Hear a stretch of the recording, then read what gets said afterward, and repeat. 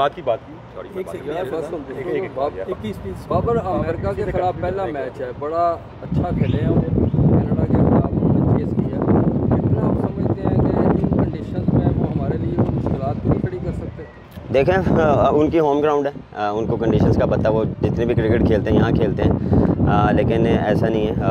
इन जो हमारी स्ट्रेंथ है हमारी जो बॉलिंग है बैटिंग है हम उस पर उस पर रिलाई करते हैं उस पर मुझे पूरा कॉन्फिडेंस है। मुझे अपनी टीम पे कॉन्फिडेंस है कि इंशाल्लाह अच्छी क्रिकेट देखने को मिलेगी। कंडीशन जो है वो आपको पता है कि वो फास्ट बॉलर को थोड़ा सूट कर रही है। जितने भी हमने मैच देखे हैं वो थोड़ा सा फास्ट बॉलर को सूट कर रही है। अ, तो हमारे जो फास्ट फास्ट बॉलर हैं one of the best fast bowler हैं और इन जो हमारी जो स्ट्रेंथ है हम कोशिश करेंगे कि जो पास में गलती हुई है उसको हम रिपीट ना करें क्योंकि अगर पाकिस्तान क्रिकेट बोर्ड ने दोबारा आपको कयादत दी आप वर्ल्ड कप का सेमीफाइनल भी खेल चुके हैं फाइनल भी खेल चुके हैं और आपने पॉडकास्ट में बोला कि आप ट्रॉफी वो पाना चाहते हैं तो आपका पर्सनल एम क्या है इस वर्ल्ड कप को लेके? क्योंकि आपकी जर्नी हम सब जानते हैं।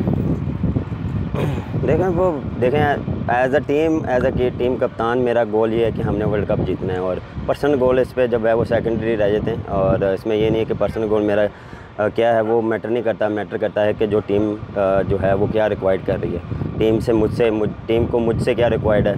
मुझे मेरी टाइम मेरी बैटिंग में क्या रिक्वायर्ड है? मेरी फील्डिंग में बॉलर्स फील्डिंग टीम क्या रिक्वायर्ड कर रही है? मैं उस पर फोकस करता हूँ मैं अपने पर्सनल गोल पे इतना फोकस नहीं करता क्योंकि वो चीज़ें साथ साथ चलती रहती हैं क्योंकि जब आप सब पाकिस्तान को अ, सामने रखते हुए जो है वो सारी चीज़ें करते हैं और इन जिस तरह मैंने उधर भी बोला था अभी ये बोलूँगा इन हम कोशिश करेंगे कि वर्ल्ड कप में अच्छा परफॉर्म है और वर्ल्ड कप जीतें।